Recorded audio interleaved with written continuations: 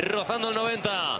Brae la pone. ¿Dónde cae? ¿Dónde cae? Magona Zelaya de cabeza. ¡Qué parada! Uh. ¡Qué paradón de Ruiz Silva! El vuelo del portugués para sacar esa mano cambiada al remate de cabeza de John Maguna Zelaya. Ahí estuvo el empate de la Real. ¿Con qué?